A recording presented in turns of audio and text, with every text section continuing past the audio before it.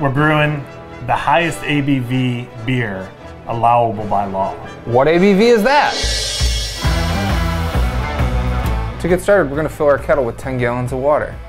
We're doing a five gallon beer, 10 gallons 10 of water, gallons of water. close to 20 pounds of grain, like three pounds of sugar. Wow, it's gonna be large. It's gonna be huge. It's gonna be massive.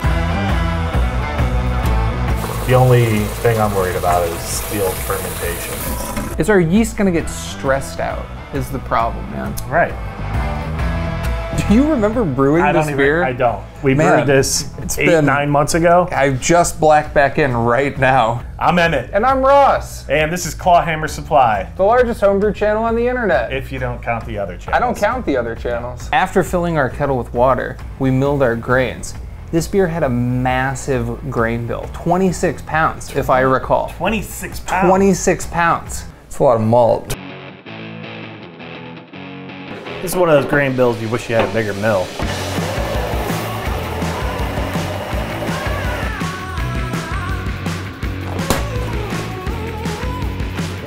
The more grain that we have, the, the more potential sugar we have from the grain. And that potential sugar gives us the potential for more alcohol. And more alcohol is more fun.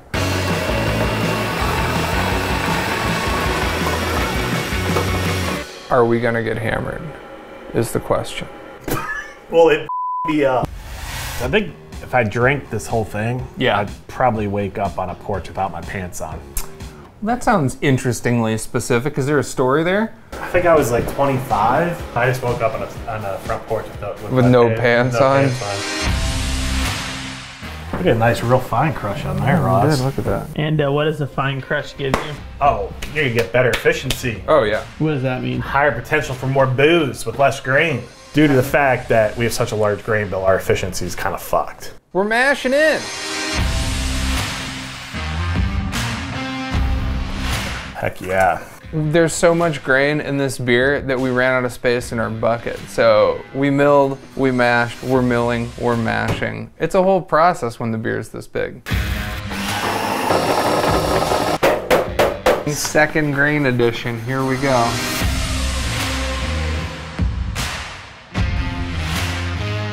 The mash was extremely thick. I mean, it was so much grain. It was so much grain. And luckily, enzymes broke it down and started to do their magic and thinned it out for me. okay, I love enzymes. But, you know, I was worried for a good 15, 20 minutes there. Oh my. But how many ABVs are we there yet? Oh, I'd say we're about, f- we're about three ABVs in. Yeah, All right, let's check this pH.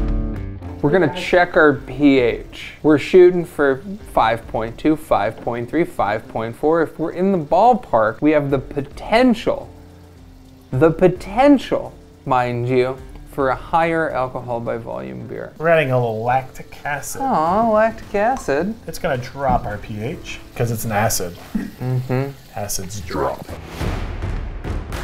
5.4. Okay. All right.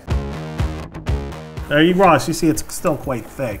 It's pretty thick. It's dude. gonna she'll loosen up. Oh yeah. This is gonna be an expensive brew day. If you just go to your homebrew shop, buy everything, you're probably looking at a $100. You could easily save a few bucks by buying one yeast packet and making a yeast starter. But yeah, not a cheap brew day, but uh, it's gonna be boozy.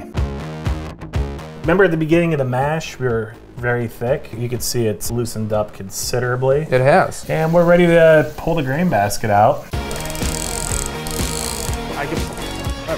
Pressing the grain so we can get more booze. is it sticky? Oh yeah. Extra sugary? Sticky with sugar.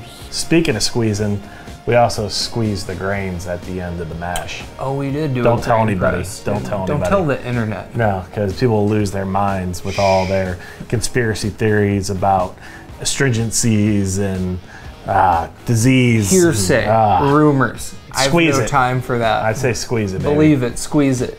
Squeeze it hard. I mean, you tell me, man. I'm feeling When we're confident. good, Yeah, I think if we're we're golden. good, We're golden. we're good. Should I run it out there? Yeah. Go on, Green. You're free. Time for our 90 minute boil. Yeah, we just finished our mash. We're gonna ramp our temp up. Boil for 90 minutes. Typical boil, 60 minutes. Mm-hmm. We bumped it up to 90. The longer you boil, The higher the booze. It's a well-known fact. so we're gonna do two ounces of Hallertau and two ounces of US Goldings. Let's just go ahead and add our candy sugar. You want to add them with an hour left? Yeah. D180. Candy, K-A-N-D-I, syrup, S-I-R-O-O-P. That's how you know it's good. Candy syrup, yeah? I mean, why use candy syrup over like a beet sugar or just a straight granulated sugar? It is a color thing, it is a flavor thing. Some of that sweetness will remain unfermented, and then some of the color on that is gonna contribute to the final color of the beer. Any liquid sugar you're gonna add to a electric brewing kettle, Uh-huh. always turn off the heat. The thing about all that sugar, though, it's gonna ferment out. This final beer, it'll have some residual sweetness, probably from that candy sugar we added. Some of that's gonna be unfermentable sugars, oh, but yeah. most of that is gonna convert right into alcohol and give us that barely legal final ABV we're looking for. We got the sugar added. We're gonna go ahead, turn the heating element back on. So my main concern was the four pounds of sugar. Is the yeast gonna be able to handle that and ferment it down to where we need it to go to get us to the place we wanna be? Valid concern. That's a lot of sweetness in a wort. My main concern is what the yeast is gonna do with that sugar. I think it's gonna be stoked on the sweetness. I think it's gonna be not stoked on all the alcohol it makes. I hope that it gets to that 15% we're looking for. Right. Because Because it could stall out it way could early. just like murk itself before it- we get kill there. itself, right? Yeah. We got an hour boil from here on out. So we still need to boil off like gallon and a half too. I'm a little worried, Ross. Not gonna lie. Not for the cameras. Not for the people at home. I don't know if we're gonna hit it.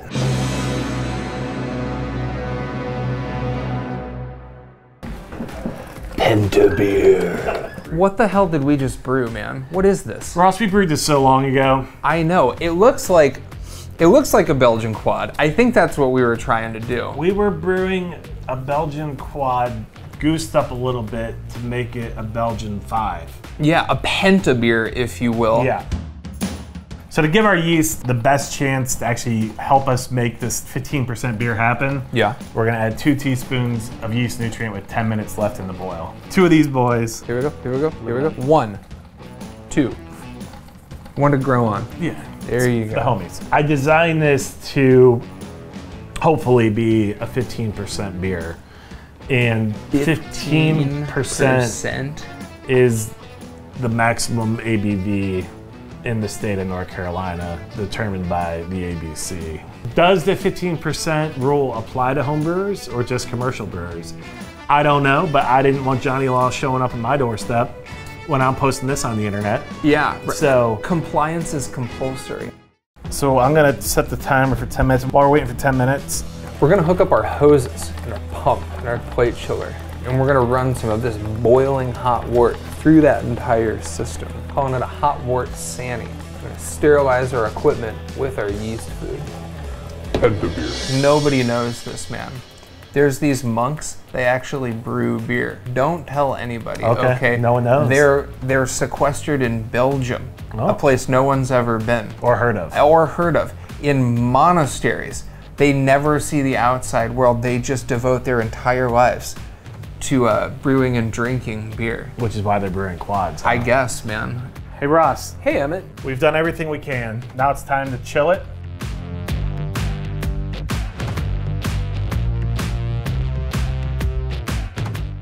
You ever seen a neti pot? We could go. The moment of truth is almost upon us. Oh. Shh. Wolverine yeast claws. WLP 500 monastic ale yeast. We pitched three packs of monastery ale yeast. The yeast are there. The yeast are monks. Oh yeah. Is this the moment of truth? Moment of truth, Emmett. Here it is.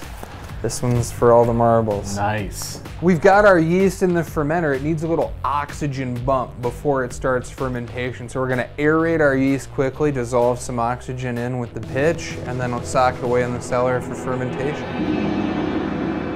Man, we had 1138 with our starting gravity. That was our Yeah, man. original gravity? Everything was looking great. We checked the gravity four months, five months after we brewed it. What did we hit when you checked it? It was 1037.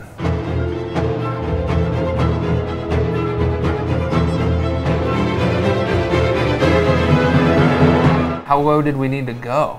We'd have to go Super a low. little bit lower. We still had a chance though, Ross. What'd we do, Emmett? Well, we made a yeast starter.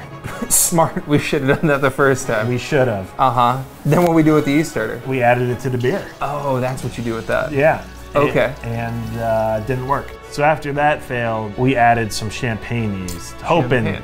hoping that champagne yeast would have the tolerance to get in there and give it 110 percent. Mm-hmm. It also failed. And then after he said it didn't didn't change after the second attempt, Uh-huh. I was like, you know what? I should look at the recipe. Go on. And I looked at my recipe I designed. Yeah. What did it say? Uh, I designed a 13% beer.